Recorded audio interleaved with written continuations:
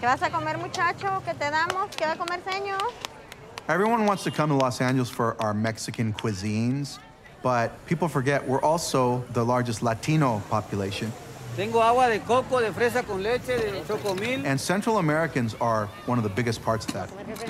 And one of the most fantastic places in Los Angeles for Guatemalan culture, Guatemalan street food, is the Guatemalan Night Market, located on 6th and Bonnie Brae.